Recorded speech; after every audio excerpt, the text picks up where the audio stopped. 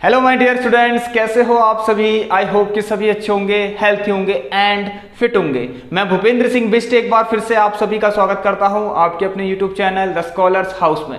सो so, students तैयार हो जाइए। आज हम फिर से मिक्स्ड क्वेश्चन की सीरीज़ को यहाँ पर कंटिन्यू करने वाले हैं। सो so, यहाँ पर 21 क्लासेस आपकी करवा दी है मिक्स्ड क्वेश्चन सीरीज़ की। सो so, आज हम करेंगे 22 सेकंड नंबर की क्लास सो so, इसमें आपके काफ़ी इंपॉर्टेंट क्वेश्चंस करवाए जा रहे हैं। सभी लोग जिन लोगों ने वीडियो नहीं देखी है एक बार ज़रूर देख कर आइए।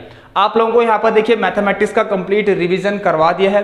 वन शॉट करवा दिए हैं ठीक है? और हर एक चैप्टर के छह से सात लेक्चर्स ले रखे अगर आप प्लेलिस्ट चेक करेंगे तो आपको सब कुछ मिल जाएगा। आप लोगों का जो भी डाउट है सब क्लियर हो जाएगा। सो चलिए फ्रेंड्स इस क्लास को अब स्टार्ट करते हैं। जो लोग भी चैनल पर आज पहली बार जुड़े हैं लाइक शेयर एंड सब्सक्राइब कर लेना। बेल आइकन को सभी लोग प्रेस ज़रूर कर लेना। क्योंकि आपको पता है ये क्लास आप तक शाम को छह बजे मतलब इवनिंग सिक्स पीएम ये क्लास आप तक पहुँच जाती है। तो चलिए माय डियर स्टूडेंट अब हम इस क्लास को स्टार्ट करते हैं। वीडियो को शेयर कर दीजिए अपने अपने दोस्तों तक। आइए स्टूडेंट तो सबसे पहला क्वेश्चन देखिए हमने लास्ट क्लास में क्या किया था? मैंने आपको बताया था अगर जिन लोगों ने मेरी क्लास देखी होगी कि सर्कल के हमारे कुछ क्वेश्चन रह गए थे। क्लास लंबी होने के कारण मैंने वहाँ पर क्वेश्चन आपको कम कराए। ऑल राइट सो देखिए दो क्वेश्चन जो थे वो रह चुके थे उसे हम कर लेते हैं। आज की क्लास में इंक्लूड कर लेंगे। और मोस्ट इंपॉर्टेंट क्वेश्चन भी हैं। आइए दोस्तों देखिए सबसे पहला एक क्वेश्चन करते हैं। आपको सर्कल के आज मैं ऐसे दो क्वेश्चन करा रहा हूँ जो आपको आ, कर तो आप सकते हैं लेकिन अगर उसका फिगर मिल गया तब आप कर सकते हैं लेकिन उसका फिगर मतलब उसका डायग्राम नहीं मिला तो आपको थोड़ा सा डिफ़िकल्ट हो सकता है। सो so, देखिए मैं आपको कराता हूँ तैयार रहना इस क्वेश्चन के लिए। A B and C D are common tangents to two circles of equal radii prove that A B is equal to C D दोस्तों देखिए बिल्कुल ध्यान से सुनना। मैंने अनइक्वल रेडियस वाले क्वेश्चन अभी इससे पहले वाली क्लास में आपको कराया था बट यहाँ पर कौन सा आ गया? इक्वल रेडियस वाला आ गया है। सो so, देखिए बिल्कुल ध्यान से और प्यार से करेंगे इन क्वेश्चंस को। ठीक है? दो ध्यान सुनना, ये दोनों इक्वल है, ठीक है? इनके, इनकी रेडियस क्या है इक्वल है? छोटा बड़ा दिख रहा है इसको आप करेक्ट कर सकते हैं। ये दिख रहा है छोटा बड़ा सो इसको बराबर कर लेते हैं। आइए सुन लीजिए। ये मान लीजिए दो इक्वल सर्कल्स हैं, ठीक है? जिनका सेंटर है कुछ सेंटर मान लीजिए, ये लीजिए। मैं, ये है मान लीजिए ओ सेंटर इसका है ओ डैश और राइट चलिए। सो देखिए यहाँ पर दोनों दो सर्कल के कॉमन टेंजेंट्स हैं। मतलब इस सर्कल का जो टेंजेंट होगा वो इस सर्कल का भी होगा। सो so, कॉमन कैसे बनेगा? ये बन गया। और सेम इसका भी कॉमन टेंजेंट ये। और राइट तो सर्कल को थोड़ा बड़ा कर लीजिए। आइए। सो दो सर्कल हैं जिनके कॉमन टेंजेंट्स इसको नाम दे सकते हैं ए बी एंड इसको ले लीजिए सी डी देखिए स्टूडेंट्स यहाँ पर एक चीज़ यहाँ पर यहाँ पर प्रूफ क्या करना है? दैट टू प्रूफ यहाँ पर लिख सकते हैं आपको प्रूफ करना है। देखिए सबसे पहले टू प्रूव दैट क्या? कि ए बी जो है वो सी डी के बराबर होना चाहिए। देखिए स्टूडेंट ये कैसे होगा ए बी बराबर सी डी आपको थोड़ा सा यहाँ पर अपना दिमाग लगाना पड़ेगा। ए बी सी डी के बराबर तभी हो सकता है जब, देखिए क्या? यहाँ पर एक क्वाड्रिलेटर आपको फॉर्म करना पड़ेगा। देखिए अब कैसे करेंगे, ध्यान सुनना। उसके उसके बारे में बाद में सोचेंगे। पहले एक काम करते हैं, यहाँ पर कंस्ट्रक्शन थोड़ा सा आपको कंस्ट्रक्शन कंस्ट्रक्शन की तरफ़ ध्यान देना पड़ेगा। देखिए कंस्ट्रक्शन में क्या करना है, आपको कुछ लाइन से उनको ज्वाइन करना है। मतलब लाइन क्या है? देखिए, ये है आपकी रेडियस मान सकते हैं आप। ये ओ है सेंटर का।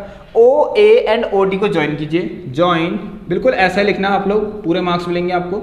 Join O A comma O D अब ऐसे ही आपको यहाँ O dash B O dash B and O dash C इनको ज्वाइन कर लीजिए, लो, मैं ज्वाइन करता हूँ, ठीक है? अब ध्यान सुना इस तरीके से ज्वाइन करना, जब आपने ज्वाइन करा, जब आप ज्वाइन कर लेंगे तो सोच तो यहाँ ध्यान देना कि बिल्कुल स्ट्रेट लाइन होनी चाहिए। ए से लेकर डी तक पूरी स्ट्रेट लाइन होनी चाहिए, इस तरीके से ज्वाइन करना। ऑल राइट लीजिए। मान लीजिए ये है पॉइंट ऑफ़ कॉन्टैक्ट और इसका पॉइंट ऑफ़ कॉन्टैक्ट ये है। देखिए, इस तरीके से ज्वाइन करना बिल्कुल सेम एज इट इज़ ये लीजिए। सो हमने ज्वाइन कर लिया। नाउ ध्यान ध्यान से सुनना यहाँ पर। देखिए, मैं आपको बताता हूँ, एक चीज़ सुनिए यहाँ पर। आपको पता है ओ ए ओ डी ये सब बराबर है? O O dash B O dash C ये सारे एक दूसरे के बराबर है, क्योंकि यहाँ पर क्या है, दोनों सर्कल की रेडियस इक्वल है। देखिए स्टूडेंट्स यहाँ पर एक छोटा सा काम करना, आप लोग लिख सकते हैं क्या?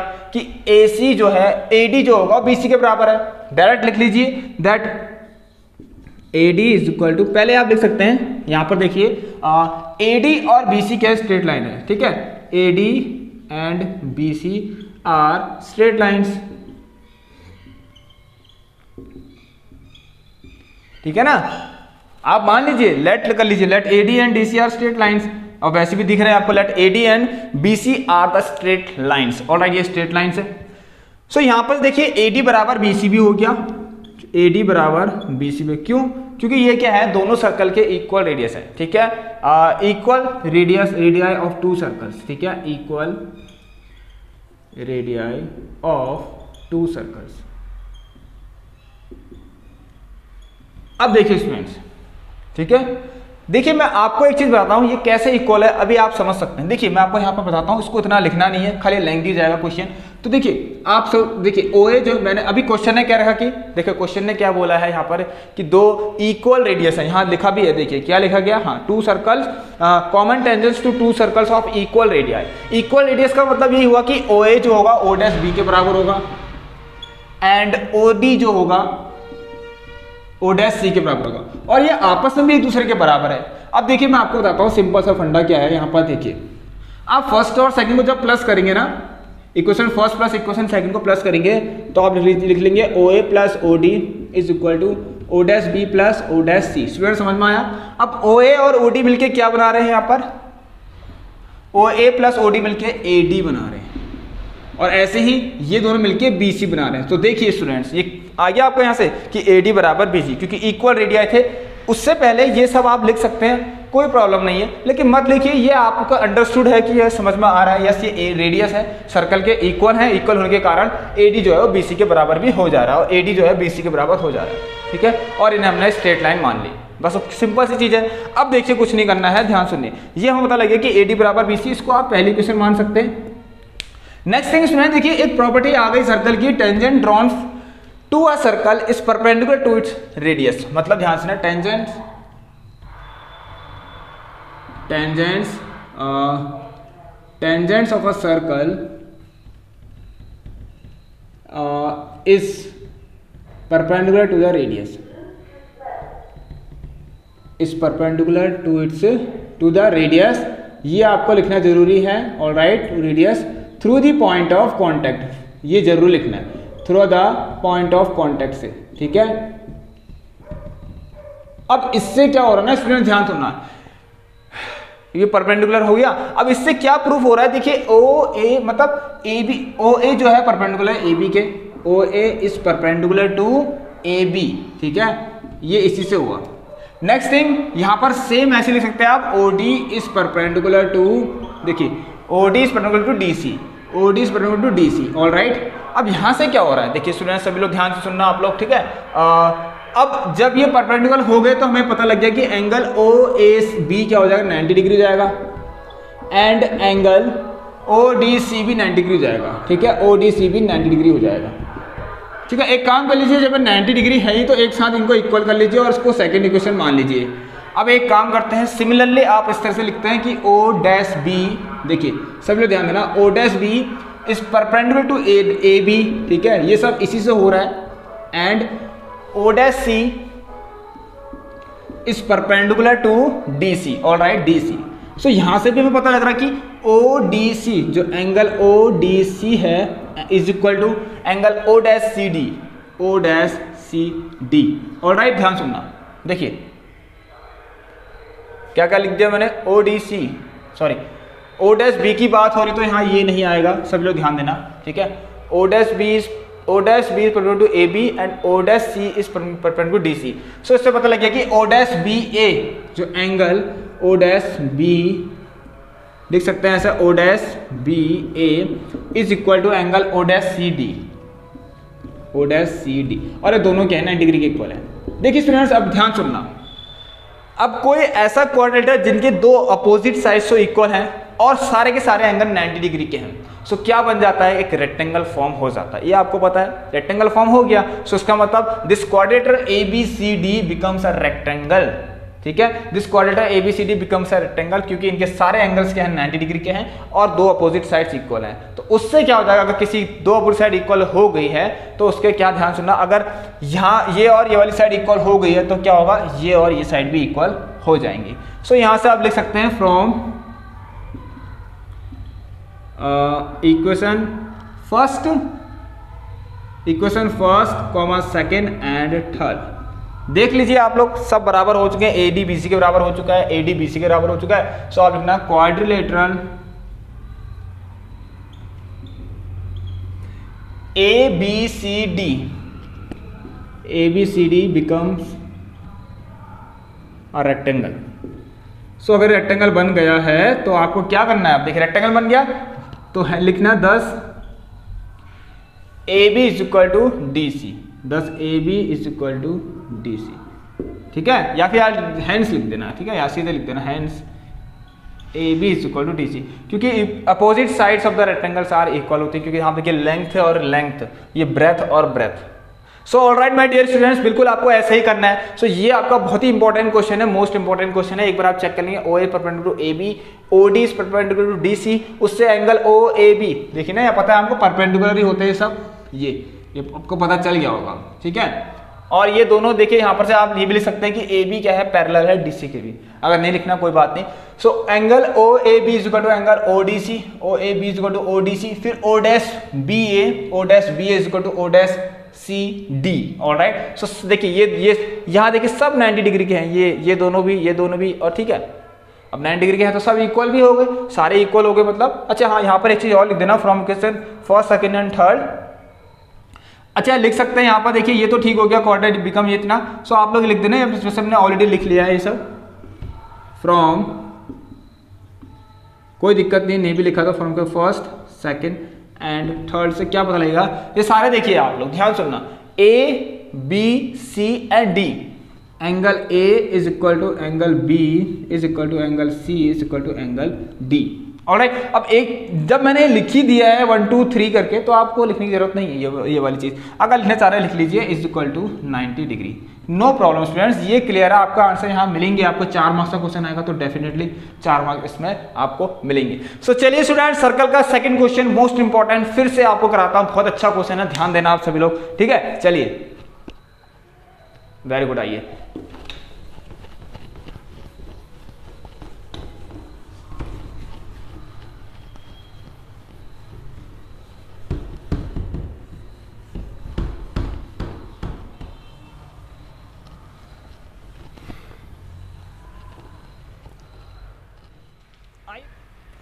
चलिए स्टूडेंट्स अब हम करेंगे अपना क्वेश्चन नंबर सेकंड सर्कल का फिर से मोस्ट इंपॉर्टेंट क्वेश्चन है. ध्यान देना आप लोग आपके पेपर में आएगा. ऑल राइट right, तो देखिए यहाँ पर क्या लिखा गया ये क्वेश्चन फिर से थोड़ा सा डिफ़िकल्ट है. मतलब पढ़ने में डिफ़िकल्ट है लेकिन करने में आसान है.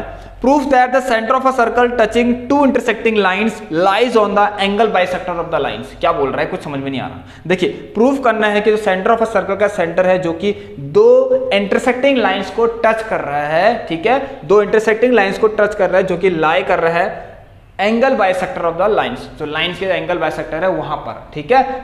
देखिए स्टूडेंट ध्यान सुनना, इसमें क्वेश्चन क्या कह रहा है? देखिए, आपको क्या करना है? सबसे पहले सिंपल आप एक फिगर बनाएँगे ऐसे। मान लीजिए पॉइंट ओ है। देखिए अब ओ पॉइंट है ना क्या बोला गया? सेंटर ओ जो है वो टच कर रहा है किसको? दो इंटरसेक्टिंग लाइंस को टच कर रहा है। सो so, पहले आप एक काम कीजिए दो लाइंस बना लीजिए ऐसी जो कि सर्कल से बन बननी चाहिए और इंटरसेक्ट होनी चाहिए। सो so, उसका मतलब सर्कल से बननी चाहिए और इंटरसेक्ट होनी चाहिए तो यही बन सकता है। टेंजेंट ही बन सकते हैं। और तो हमें कुछ पता नहीं है यहाँ पर। सो so, मान लीजिए आपके पास एक एल लाइन है एक एल लाइन है। और राइट ये ध्यान सुनिए। देखिए स्टूडेंट्स यहाँ पर से क्या बन रहा है? एल और एल के बीच में यहाँ पर क्या बन रहा है? देखिए यहाँ पर देखिए, इनसे क्या होगा? एंगल बाइसेक्टर भी बनेगा राइट सो एक काम ये सबसे पहले आप लोग देखिए। आप लोग लिखिए कि लेट सपोज़ लिख सकते हैं सपोज़ पॉइंट ओ देखिए point O touches the line ठीक है?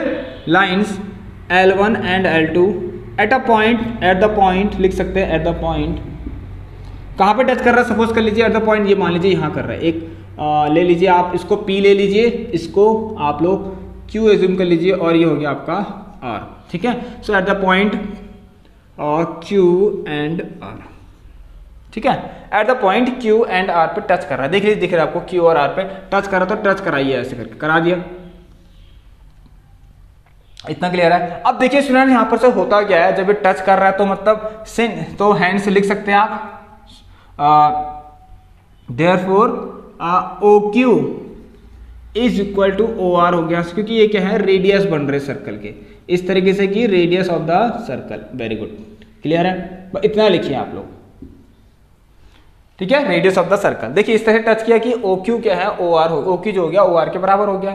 एंड क्यू एंड आर लिख सकते हैं। क्यू एंड आर क्या है? पॉइंट्स ऑफ़ कॉन्टेक्ट हैं। ठीक है? आपको लिखना है, लिख लीजिए। नहीं तो नो प्रॉब्लम अब देखिए स्टूडेंट यहाँ पर से एक चीज़ और आपको पता चल रही होगी। वो क्या है कि जो Q P Q P P Q and P R क्या है? टेंजेंट्स हैं किसी सर्कल के। जिसमें P क्या है? एक एक्सटर्नल पॉइंट है। सो so, प्रॉपर्टी होती है कि एक्सटर्नल पॉइंट है P और P Q and P R एक टेंजेंट है ठीक है? सो so, यहाँ से प्रॉपर्टी क्या होती है कि ये दोनों भी क्या होंगे आपके? इक्वल हो जाएँगे ठीक है? Tangents drawn from an external point और सर्कल आर इक्वल अब देखिए स्टूडेंट्स आप लोग क्या कीजिए? एक लाइन ड्रॉ कीजिए ओ से लेकर पी तक ठीक है? ये करिए अपने ओपी करिए। बस इस क्वेश्चन में आपको ध्यान देना है आपको ये प्रूफ करना है कि जो ओपी लाइन है ये इस वाले लाइन को क्या कर रही है? बाइसेक्ट कर रही है। बस इतना ही ध्यान देना। मतलब उससे ये पता लग जाएगा कि ओ भी सेंटर पे लाई कर रहा है और जो कि क्या कर रहा है? L1 और L2 का। देखिए, क्या लिखा गया क्वेश्चन में? यस यहाँ तक लिखा है proof that the centre of a circle touching two intersecting lines जो कि लाइज कर रहा है on the angle bisector of the lines ठीक है? इन दोनों लाइंस के जो एंगल बाइसेक्टर है, ठीक है, जो कि यहाँ पर बनेगा वो ओ जो है वहाँ पर लाई कर रहा है। देखिए ओ लाई तो कर रहा है ना इसके सामने, ठीक है? इन दोनों से बनने वाला एंगल बाइसेक्टर ठीक है? इन दोनों लाइंस से जो भी एंगल बाइसेक्टर बनेगा, ये देखिए बन रहा है एंगल बाइसेक्टर ये बन गया। ये एंगल बाइसेक्ट कर रहा है देखिए, कर रहा है। सो ये कहाँ लाई कर रहा है? ओ पर लाई कर रहा है। सो बस यही प्रूफ करना है और सिंपल सी चीज़ ये है कि स्टूडेंट्स आपको ये प्रूफ करना है कि ओपी जो है लाइन जो ओपी है, वो बाइसेक्ट कर रही है किसको? क्यू पी एंड आर को। इसका मतलब सिंपली ये होता है स्टूडेंट ध्यान सुनिए। अगर कोई लाइन बाइसेट करती है मैंने कह दिया एक, ये एंगल है। मान लीजिए एंगल है, ठीक है? ये एंगल है, मान लीजिए इसको ले सकते हैं आप। ये ले लीजिए Q P Q P and R all right अब यहाँ पर एक पॉइंट है ओ ठीक है? देखिए, अब इनके लिए कोई एक होगा एंगल जो इनको बाइसेट करेगा, ठीक है? वो क्या करेगा? ओ देखिए सेंटर से आएगा। यहीं से आ रहा है सेंटर से। देखिए, यहाँ से आ रहा है, ठीक है? कर लिया। मतलब ओ से लेकर पी तक। ओपी लाइन ने क्या कर दिया? इस क्यूपीआर को इक्वली डिवाइड कर दिया मतलब बाइसेक्ट कर दिया। सो so, इसका मतलब बाइसेक्ट करने से मतलब ये होगा कि आपको ये प्रूव करना है कि एंगल क्यू पी ओ बराबर ओ पी आर जब ये दोनों एंगल इक्वल हो जाएँगे तो आपको पता लग जाएगा ठीक है? आपको पता चल जाएगा स्टूडेंट्स कि ओपी जो है लाइन वो क्यू पी आर को बाइसेट कर रही है। बस इतना ही इसमें प्रूफ करना पड़ता है और कुछ नहीं प्रूफ करना पड़ता। सो आइए प्रूफ कैसे करेंगे जरा देखते हैं। सभी लोग ध्यान सुनना, ठीक है? सो इसका मतलब यही होता है, कोई लाइन अगर बाइसेक्ट करती किसी एंगल को सो दो इक्वल पार्ट्स में डिवाइड कर देती है। दो इक्वल पार्ट्स मतलब दो इक्वल एंगल्स में डिवाइड कर देती है उनको। आइए स्टूडेंट्स सो चलिए यहाँ पर देखिए ओ क्यू बराबर ओ ठीक है? अब देखिए, हम लोग उसको प्रूव कर सकते हैं किससे? देखिए सो आप लिखना सबसे पहले in triangle O Q P and triangle O O Q P and O R P लिख लीजिए। ओ आर सबसे पहले चीज़ इन्हें हमें आप क्या करना है? सिमिलर प्रूफ करना मतलब कॉन्ग्रेंट दिखाना है कि ये ट्रायंगल्स के हैं? आज कॉन्ग्रेंट्स हैं। सो कॉन्ग्रेंट ट्रायंगल से हमें पता लग जाएगा corresponding angles of the congruent triangles are equal करके वहाँ से हमें पता चल जाएगा। सो so, देखिए आप लोग क्या सबसे पहले लिखना कि ओ क्यू ठीक है? लिखना ये जो लिखा है देखिए ओ क्यू बराबर ओ आर ओ क्यू बराबर ओ आर ओ क्यू बराबर ओ आर क्यू है? क्योंकि रेडियस है एक सर्कल के। Radius of the circles all right second thing is एक चीज़ और ओपी और ओपी कॉमन है। ओपी इज़ टू ओपी लिखना आप लोग, ये लिख देते हैं। ओपी इज़ कॉमन लिखना डायरेक्ट या फिर ये हाँ ये लिख लेना common the last thing is चलिए, एक और चीज़ है, आपको पता है कि पी क्यू बराबर पी आर होंगे। क्या होंगे? पी क्यू बराबर पी आर होंगे। इस बार होना tangents of a circle okay ठीक है? So by S S S congruence rule जो आपका ट्राइंगल है ओ क्यू पी वो क्या हो गया? सिमिलर हो गया triangle O O R P के, ठीक है? ओ आर पी देखिए ओ क्यू पी सिमिलर हो गया ओ आर पी के। तो by corresponding angles of the congruent triangle या फिर corresponding parts of the congruent triangle से आप लिख सकते हैं बाय सीपीसीटी लिख लीजिए, उससे क्या हो गया आपका? ये वाले एंगल बराबर हो गए। ये इसके बराबर हो गया। तो ये इसके बराबर हो गया मतलब यहाँ से ये ये भी पता चल गया कि ओपी एक लाइन है। ठीक है? जो इस वाले एंगल को बाइसेक्ट कर रही है। बस इतना ऐसे प्रूफ करना था तो ये प्रूफ आपका हो गया। और साथ में आप ये भी लिख सकते हैं इसमें क्या? कि therefore O lies on the bisector of angle between L one and L two all right ये लिख सकते हैं आप। नहीं तो आप डायरेक्ट लिख लीजिए by CPCT angle O O P and Q O P Q is equal to angle ठीक है? देखिए CPCT angle O P Q is to O P R. Angle O P R. तो यही हमें प्रूव करना था। इस कारण क्या हमें पता लग गया है? इस कारण क्या पता लग गया? देखिए, सभी लोग ध्यान सुनिए, जो लिखा था बिल्कुल वैसा ही कि therefore O lies on the bisector of angle ठीक है? O lies on the bisector of the angles between L one and L two इससे ये प्रूफ हो चुका है। और ये भी साथ कह सकते हैं कि ओपी क्या हो गया? ओपी लाइन जो होगी वो बाइसेक्टर होगी किससे? ठीक है? किसकी बाइसेक्टर होगी? जो भी एंगल फॉर्म हो रहा है एल और एल से ठीक है? जो भी एंगल फॉर्म हो रहा है एल और एल से ठीक है?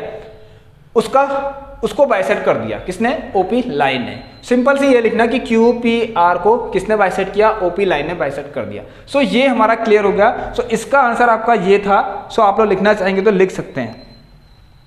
इस तरीके से। Therefore O lies on the ठीक है? क्या लिखेंगे देखिए therefore O lies on the bisectors of angle ठीक है? Lies on the bisectors of angles between L one and L two ठीक है? ये मैंने शुरू में बता दिया आपको। ओ लाई कर रहा है वहाँ पर। जो इन दोनों का बाइसेक्ट कर रहे हैं, ठीक है? जो दोनों दोनों एंगल से जो बाइसेक्टर बन रहे हैं, वहाँ पर ओ लाई कर रहे हैं, ठीक है? देखिए between angle L between angles between L one and L two ठीक है? एल वन और एल टू के बीच में जो भी एंगल बन रहा है, ठीक है? वहाँ पर, ठीक है, क्या कर रहा है? ओ जो है लाई कर रहा है। उनसे जो भी एंगल बन रहे हैं, ठीक है? वहाँ पर वो लाई कर रहा है। तो एंगल क्या बन रहा है? वहाँ पर से क्यू पी आर और यहीं पर इस क्यू पी आर पे तो देखिए ओ लाई कर रहा है क्योंकि इस लाइन से पता लग रहा है, ठीक है? ओ और पी लाइन से पता लग रहा है यस ये वहीं पर लाई कर रहा है, ठीक है? सो यहाँ से ये भी प्रूफ हो गया आपका, इस तरीके से लिख सकते हैं। या तो आप लिख लीजिए ओपी जो है, वो बाइसेट कर रही है किसको?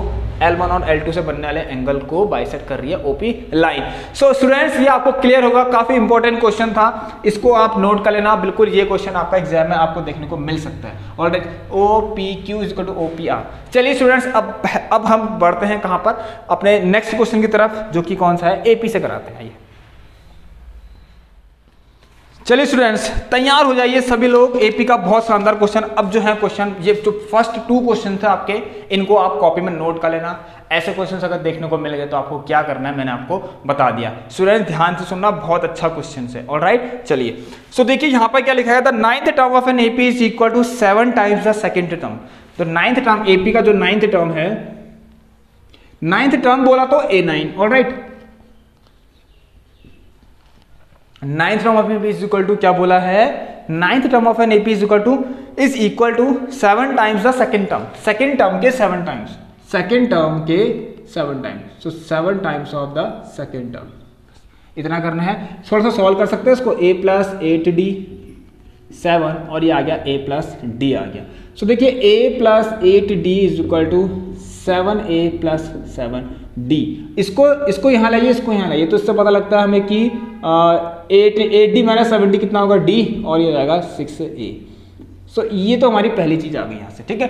नेक्स्ट थिंग क्या दे रखा है? सेकंड केस में दे रखा है कि जो ट्वेल्थ टर्म है वो एक्सीड कर रहा है ठीक है? देखिए सबसे पहले चीज़ इन क्वेश्चन को करने के लिए मैंने आपको बहुत अच्छी तरीका बता रखा है। जितना एक्सीड कर रहा है उसको आप पहले लिख लीजिए। मतलब कौन कर रहा है? ट्वेल्थ टर्म कुछ एक्सीड तो कर रहा है लिखिए कोई बात नहीं देखिए।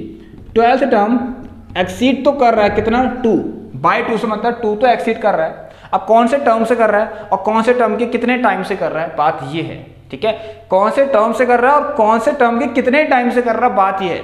तो इस क्वेश्चन में किसी टर्म के कुछ टाइम से कर रहा है। तो मतलब ध्यान सुनना कुछ नहीं यहाँ पर सिंपल सी बात है कि लिखा गया है and the twelfth term exceed five times so five times तो एक्सीड कर रहा है लेकिन फाइव टाइम्स अब टाइम्स बोला था मतलब किसी ना किसी टर्म के कुछ टाइम से कर रहा होगा। सो so, किस टर्म के कितने टाइम से?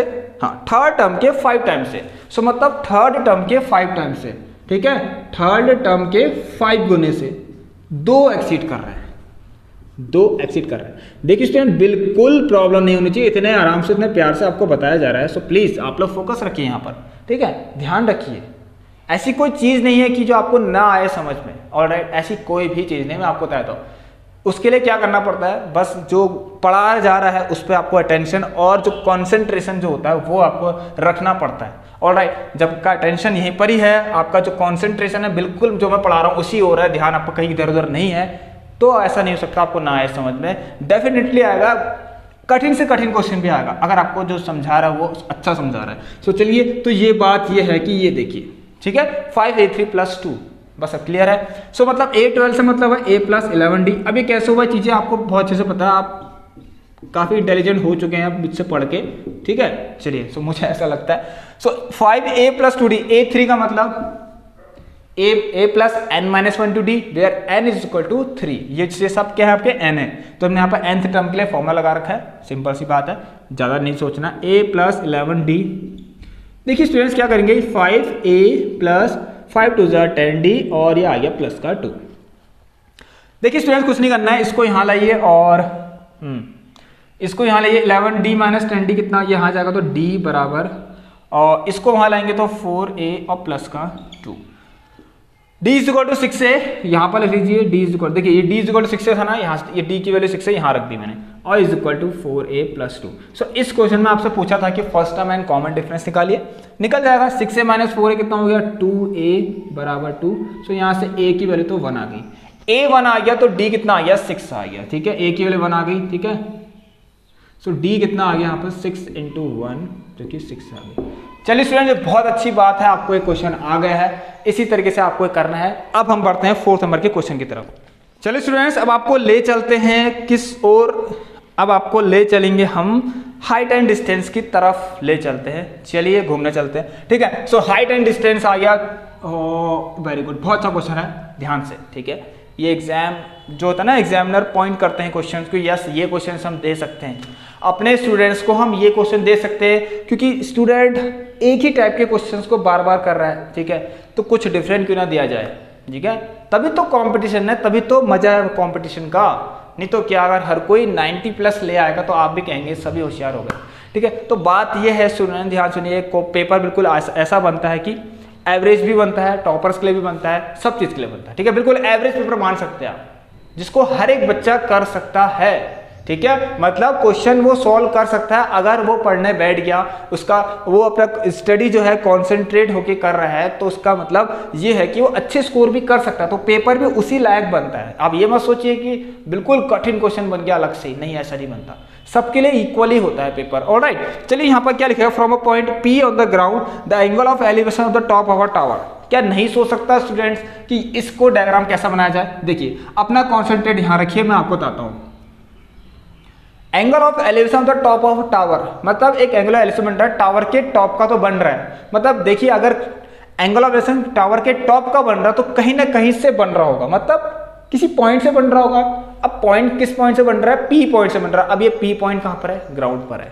सो so, समझने की कोशिश करना अगर आप डेली ऐसे क्वेश्चंस की पाँच ऐसे पाँच क्वेश्चन की प्रैक्टिस आप डेली करेंगे तो बिल्कुल नहीं बोलेंगे क्वेश्चन इस बात की मैं आपको गारंटी देता हूँ। ठीक है? So point P on the ground एक टावर है टावर ले लीजिए। कॉमन सेंस की चीज़ें। ठीक है स्टूडेंट्स छोटा बड़ा दिख रहा कितना? ठीक है। और नीचे कर लेते हैं। ये हो गया मान लीजिए पॉइंट पी और यहाँ पर से एक काम करिए आप लोग। From a point P on a ground एक हॉरिजॉन्टल लाइन ड्रॉ कर लीजिए बेस बना लीजिए। From a point P on a ground the angle of elevation of the top of the tower tower के टॉप का एंगल ऑफ़ बन रहा है कहाँ से? पी से। यहाँ से बन रहा तो यहीं से खींचे। इससे आपको पता चलेगा, यहाँ से बन रहा है ना फ्रॉम पी से तो पी से खींचिए, जो कि 30 डिग्री का बन रहा है। अब नेक्स्ट थिंग बहुत अच्छी चीज़ यहाँ पर बोली गई है क्वेश्चन ने, बोला कि and that of the top of the flag stop वही एंगल ऑफ़ एलिवेशन ही एंड दैट ऑफ़ मतलब उससे पहले किसकी बात हुई थी? एलिवेशन की बात हुई थी। सो so, एंड से मतलब ये है कि अब वही एलिवेशन जो है अब किसका बन रहा है? And that of angle elevation top of tower is thirty degree and that of top of the flag flag staff जो कि फिक्स्ड है टावर के टॉप पर। सबसे पहली चीज़ टावर के टॉप पर तो फ्लैग फिक्स्ड है। चलिए। यहाँ पर ये फ्लैग है हिस्से में। अब क्या फ्लैग स्टाफ के टॉप का एंगल ऑफ़ एलिवेशन बन रहा? सेम पॉइंट से। ठीक है? तो ये आपका बन रहा है कितना यहाँ से? इतना तो हो गया आपका हाउ मच ये वाला तो हो गया थर्टी डिग्री का और ये बड़ा वाला हो गया आपका 45 डिग्री का। बहुत अच्छा क्वेश्चन है। क्वेश्चन देखिए, यहाँ पर पूछा है कि टावर की हाइट बताइए। और आपको एक चीज़ दे रखा है, वो क्या है यहाँ पर? Yes this is given to you that sorry ये नहीं दिया आपको, ये निकालना है आपको। फ्लैग की हाइट दे रखी है। फ्लैग स्टार मान लीजिए झंडा है, ठीक है, इस तरीके से। मतलब झंडे का डंडा है, जो भी है, इस तरीके से। सो फाइव मीटर का दे रखा है। नहीं आई थिंक फाइव मीटर दे रखा है। चलिए flag style is five metre fine the height of tower अब कौन नहीं कर लेगा? बहुत आराम से कर लेगा। बच्चा कर कर लेगा। आप लोग अगर लेना चाहते तो ए बी ले लिए। मैं डायरेक्ट बताता हूँ आपको, देखिए टेन थर्टी कौन सा ट्रायंगल बन रहा है? पी बी एंड सी ये पी बी सी के अंदर टेन थर्टी बन रहा है। मैं डायरेक्ट लग बता दूँ आपको। चलिए सो टेन थर्टी अब ये तो आपके पास साइड नहीं है ना, और ये आने वाली भी है तो एक्स ले लीजिए। So tan thirty is equal to how much tan thirty degree is equal to देखिए आ, ये वाला एच अपॉन एक्स और परपेंडिकुलर अपॉन बेस सो यहाँ से हमें पता लगे कि वन अपॉन कितना हो गया? देखिए स्टूडेंट्स ये कितना हो गया यहाँ से? One upon under root three is equal to h upon x हो गया. सो so, हमें पता लगे एक्स इज़ इक्वल टू कितना हो गया यहाँ से? X is equal to h under root three भी हो गया. ठीक हो गया? क्लियर है सबको? आइए. तो कि x is equal to h under root three अब आप क्या कीजिए? ट्राइंगल टेन सिक्सटी भी लगा लीजिए. Sorry tan forty five degree देखिए, इतना पूरा कितना होगा? क्योंकि ये वाले साइड आएगी आप टेन फोर्टी फाइव में, जो कि एच प्लस फाइव मीटर कहलाई जाएगी। ऑल राइट सो आप लीजिए tan forty five to h plus five upon base फिर से एक्स टेन फोर्टी फाइव तो वन ही होता है h plus five upon x so x is equal to how much h plus five so x की value h under root three यहाँ रख लीजिए। और ये बन गया आपका एच प्लस फाइव इसको यहाँ लाइए तो h under root three minus का h h equal to five h common ले लेना under root three minus one is equal to five देखिए, ऐसा नहीं कि इतना ही छोड़ के आ गए यार। थोड़ा तो सॉल्व करिए। ठीक है? थोड़ा तो रहम करिए। मतलब थोड़ा तो सॉल्व करिए यार, इसको और सॉल्व कर कर लीजिए ना। यहाँ पर इस तरीके से रेसलेशन पता है आप लोगों को। ठीक है? चलिए। सो ये हो गया आपका फाइव और अंडर रूट थ्री प्लस का one and a plus a plus b a minus b ninth class a square minus b square और राइट नाइन्थ क्लास में था ना इसलिए बता रहा हूँ। So a square under root three का स्क्वायर क्या होगा? थ्री होगा वन का square one so three three minus one two हो गया। सो so, यहाँ से इसको काट दीजिए आप। ये आ गया two point five times cut जाएगा। सो टू पॉइंट फाइव देखिए अंडर रूट थ्री की वैल्यू रख लेना। One point seven three two plus one all right so two point five into two point seven three two इसको आप सभी लोग मुझे सॉल्व करके बता देना कितना आया, ठीक है? कोई बड़ी चीज़ तो नहीं है यहाँ पर। चलिए, नहीं भी करो तो कोई दिक्कत नहीं है। आप लोग तो नाराज़ नहीं होंगे ना? चलिए, कोई प्रॉब्लम नहीं स्टूडेंट्स अगर आपको नहीं आ रहा तो आपके पास मोबाइल है। कैलकुलेट कर लीजिए, लेकिन नहीं प्रैक्टिस करिए कि ऐसा ही करना है, क्योंकि एग्ज़ाम में आपको यहाँ पर पता है कैलकुलेटर नहीं मिलता है। चलिए सो अगली थिंग थिंग देखते हैं यहाँ पर क्या है। चार क्वेश्चन हो गए हमारे, जो इंपॉर्टेंट क्वेश्चन है। आइए स्टूडेंट अब यहाँ पर आपको बताया जाएगा क्वेश्चन नंबर कौन सा? फिफ्थ वाला। अब बहुत अच्छा क्वेश्चन है, मज़ा आ गया, ऐसे क्वेश्चन आ जाए तो ठीक है? बहुत प्यारा क्वेश्चन है, देखते हैं क्या आइए। सो देखिए, यहाँ पर है क्वेश्चन आपका क्वालिटी क्वेश्चन ले लेते हैं। आज क्वालिटी क्वेश्चन को लास्ट में रखते हैं, क्योंकि अच्छा क्वेश्चन है। Find the nature of the roots कब से नहीं पढ़ा? ये भूल गए ना स्टूडेंट्स कब से नहीं पढ़ा, बताइए। काफ़ी टाइम हो चुका है। नेचर और रूट्स के बारे में तो कुछ पढ़ा ही नहीं है।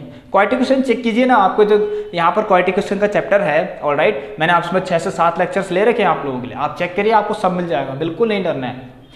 कुछ है ही नहीं स्टूडेंट सारे चीज़ आपको करवा रखी है, आप लोग देखी तो सही एक बार। एक बार आप प्लेलिस्ट चेक तो करिए। एक क्वेश्चन भी ऐसा नहीं होगा जो बाहर से होगा, ठीक है? सारा आपका यहीं से आएगा, इसकी मैं आपको गारंटी देता हूँ, आप बस पढ़ाई करना स्टार्ट कर लीजिए। So find the nature of the roots of the quality question find the nature of the roots of the quality question ठीक है? Find the nature of the roots of quality question चलिए। देखिए quality question कुछ इस तरीके से है two x square minus का। Two under root six into x plus का, three is equal to zero. If the रू real root exist then find its roots यही बोला है, अगर रियल रूट एग्जिस्ट कर रहा है, देखिए रियल रूट एग्जिस्ट कहाँ कहाँ पे करता है? जब डी क्या हो, या तो ज़ीरो से बड़ा हो, या डी जो हो, ज़ीरो के बराबर। इस केस में रूट एग्जिस्ट करता है। इस केस में क्या होता है? ऊपर वाले केस में जब डी ज़ीरो से बड़ा होता है तो रूट्स एग्जिस्ट तो करता है रियल तो होता है बट डिफरेंट रूट्स होते हैं।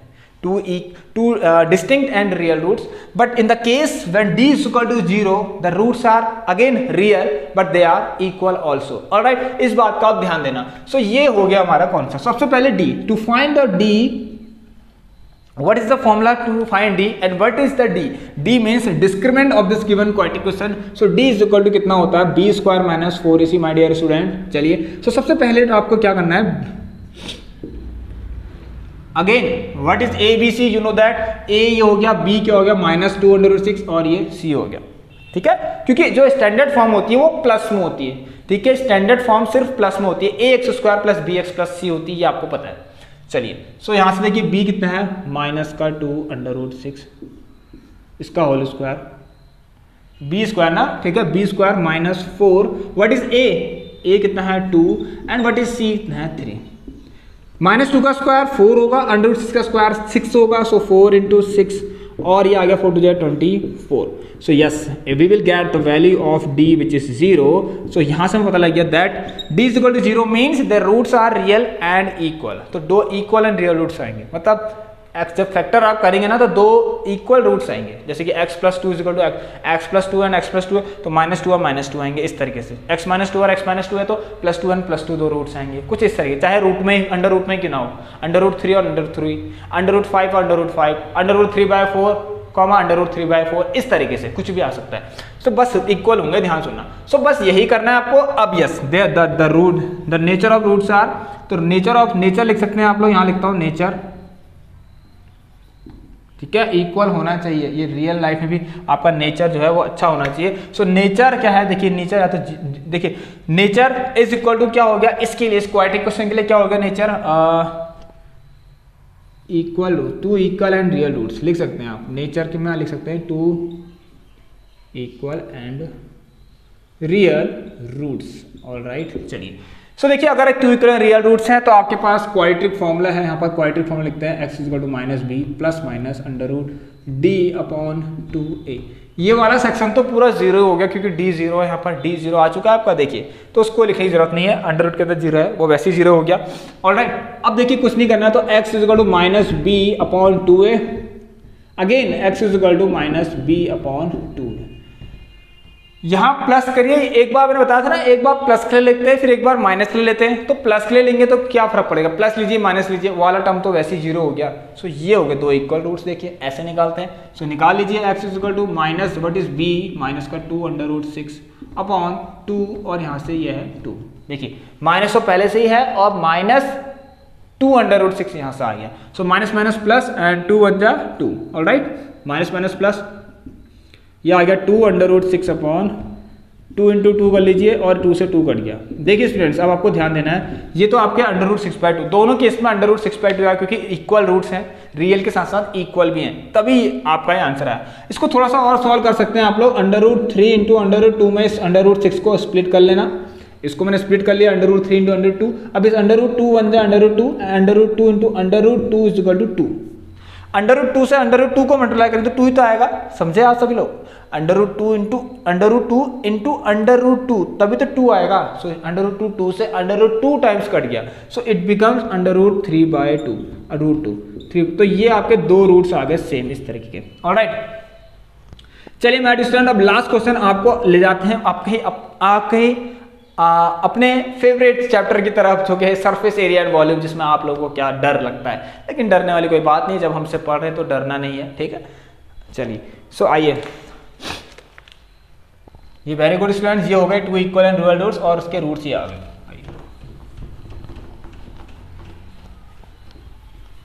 Yes when d is less than zero तो ये केस ये सारा, ये ये वाला टॉपिक आपके कोर्स में इस बार नहीं है, क्योंकि सिलेबस से डिलीट हो चुका है। कि आपको आ, जो रियल नॉट रियल रूट्स वाला केस है जिसमें रूट्स एग्जिस्ट नहीं करता जिसमें डी जो है ज़ीरो से कम होता है फिर नेगेटिव में आता है।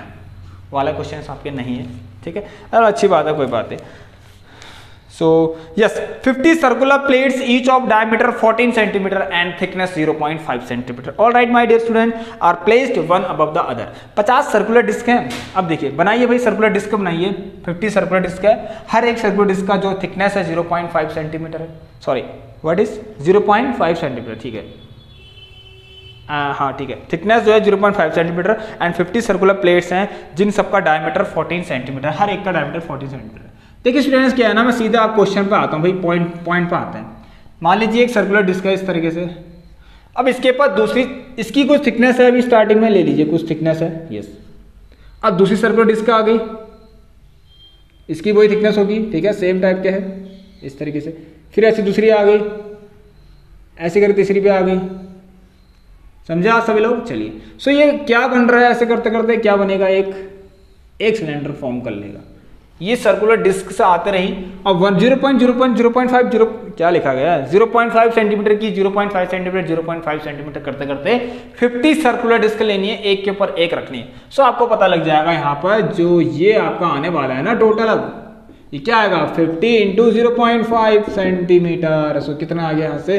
पॉइंट काटेंगे तो ज़ीरो बढ़ेगा फाइव टू टेन सो उसको मल्टीप्लाई करना आपका 25 आंसर आएगा। देख लीजिए। ठीक है, ये करना फाइव सो यस 25 सेंटीमीटर आ गई जो कि एक सिलेंडर की अब ये सिलेंडर बन गया तो उसमें लिखा भी गया to form right circular cylinder चलिए the diameter of this cylinder is 14 centimetre and radius become 7 centimetre now ये तो बहुत अच्छा क्वेश्चन बन चुका है कि आपको क्या निकालना है? टोटल सरफेस एरिया फाइंड करना है इसका। सो टोटल सरफेस एरिया क्या होता है? किसी सिलेंडर का two pi R R plus H तो सिलेंडर है टोटल सरफेस एरिया कैसे निकलेगा? Two pi R and R plus H मतलब टोटल सरफेस अगेन मैं बताता हूँ आपको टोटल सरफेस मतलब किसी सॉलिड में कितनी सरफेस है, सबको टच करिए फील करिए और उनकी सरफेस एरिया को ऐड कर लीजिए। मतलब बात यह है स्टूडेंट्स देखिए, एक तो सी है तो two pi R H total surface area की बात कर रहा हूँ, एक तो सी एस है टोटल सर्फेस में एक सी एस ए दिख रहा है सिलेंडर के अंदर, और दो क्या दिख रहे हैं, दो बेस भी दिख रहे हैं, ठीक है? क्योंकि हॉलो सिलेंडर नहीं है, आपको पता है सर्कुलर डिस्क लगी हुई है। तो आप इस वाले ऊपर वाले हिस्से को भी छू सकते हैं। यहाँ पर हॉलो नहीं है। ये एक सरफेस है। ये भी एक सरफेस है। दो सरफेस है। कैसी? Circular surface so two into area of circle which is pi R square two pi R square इसको आप जब सॉल्व करेंगे two pi R R plus H ही आएगा। सो आई होप कि क्लियर होगा आपको। सो so, ये आ गया आपका यहाँ से ठीक है? ये आ गया आपका सेवन तो ये आ गया आपका forty four into thirty two solve कीजिए। कोई प्रॉब्लम वाली बात नहीं है। आइए। टू फोर ज़ा एट टू फोर ज़ा एट थ्री फोर ट्वेल्व का two one two twelve thirteen इतनी फटाफट कर रहे हैं। देखिए कैलकुलेटर कैलकुलेटर से फास्ट तो हम है। सो ये आ गया one four zero eight one four zero eight centimetre का स्क्वायर चलिए my dear students I hope कि आपको क्लियर होगा। इतने अच्छे क्वेश्चन हमने किए, जो आपके मोस्ट इंपॉर्टेंट क्वेश्चन थे सर्कल के मैंने आपको आज करा दिए दो। तैयार कर लेना, एक बार देख लेना उस क्वेश्चन को। ऊपर ही ऊपर देख लेना, ठीक है? क्योंकि आपको यहाँ पर कुछ नहीं, बस स्टेटमेंट समझ में आना चाहिए, जो बोला है, उसमें करना क्या है? बस और कुछ नहीं। क्योंकि फिगर वाले क्वेश्चन तो आप आराम से कर ले जिसमें डायग्राम है, उसे आप आराम से कर ले, कर सकते हैं। लेकिन जिनमें डायग्राम नहीं होता, जिसमें खाली स्टेटमेंट दिया होता है लैंग्वेज होती है लैंग्वेज बेस्ड होते हैं, थोड़ा कठिन लगता है। तो मैं आपके लिए हर एक टाइप का क्वेश्चन ला रहा हूँ, जिससे कि आपका एक भी क्वेश्चन मिस ना हो। अब आप लोग तैयार रहिए, बस काम बाकी काम आपका।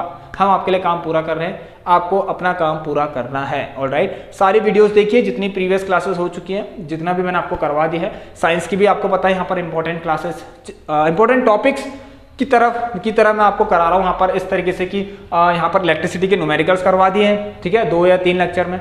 और आपके इलेक्ट्रिक मोटर भी आपको पढ़ा दिए, ठीक है? और साथ ही साथ मॉडर्न पीरियडिक टेबल के तीन लेक्चर मैंने आपके ले दिए हैं। और अभी हमारा लास्ट एक कौन सा लेक्चर हुआ था? कार्बन एंड इट्स कंपाउंड का। प्लेलिस्ट जाके चेक करिए, आपको सब कुछ मिलेगा स्टूडेंट यहाँ पर। आप बिल्कुल टेंशन फ्री हो जाइए, सब कुछ मिलेगा। 40 में से 40 और आप कुछ सीख कर भी जाएँगे। लेकिन जाना नहीं है स्टूडेंट्स क्योंकि अभी क्या है यहाँ पर इलेवंथ क्लास की मैथमेटिक्स शुरू होने वाली है टर्म टू एग्ज़ाम खत्म होते ही। सो आपके साथ हम बने रहेंगे। आप ये मत सोचना कि सर हमें छोड़ के चले गए नहीं जाएँगे ठीक है?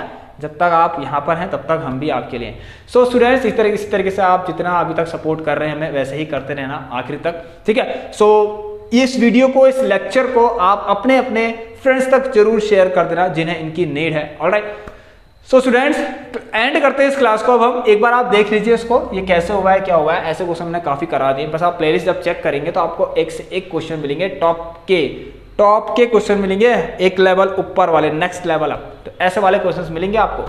चलिए स्टूडेंट्स अब एंड करते हैं इस क्लास को। आप सभी लोग जो भी इस चैनल पर आज पहली बार विज़िट हुआ है चैनल वीडियो को देख रहा है, हमारी क्लास को देख रहा है, अगर पसंद आ रही है आपको क्लास तो आप लोग छोटा सा काम कर देना लाइक कर देना, ठीक है? शेयर कर सकते हैं आप लोग एंड सब्सक्राइब ज़रूर करना, ठीक है? क्योंकि डेली हम आपके साथ यहाँ पर देखिए सिक्स पी इवनिंग पर आते हैं। मतलब कि बेल आइकन भी आप लोगों को प्रेस करना है। बेल आइकन प्रेस करने के बाद ऑल पे सेलेक्ट ज़रूर कर लेना। सिक्स पी आपकी डेली क्लास आती है इवनिंग पर तैयार रहिए स्टूडेंट्स चलिए सो जल्द ही आपके सामने आप लाइव भी आएँगे अगर आप लोगों का सपोर्ट रहा तो। चलिए स्टूडेंट्स सो अब हम आपसे मिलते हैं नेक्स्ट क्लास में। तब तक के लिए सभी लोग अपना ख्याल रखना take care goodbye have a nice day stay home stay safe and thank you so much